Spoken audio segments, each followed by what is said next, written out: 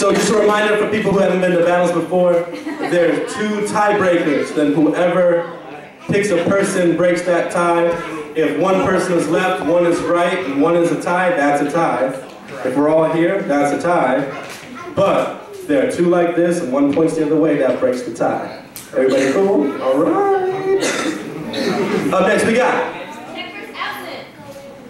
Tommy versus Absynthe. On deck. On deck, shorty. Willie Snuff versus Steel Hip Peel. Oh, Willie Snuff, the duck counter versus Steel Hip Peel.